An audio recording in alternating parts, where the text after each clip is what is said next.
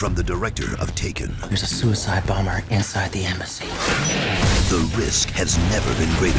What do you think this is about? It's about terrorists! But our last line of defense is also our best. What the? Did I say we were done? John Travolta, Jonathan Rhys Myers. Come on, baby, one shot.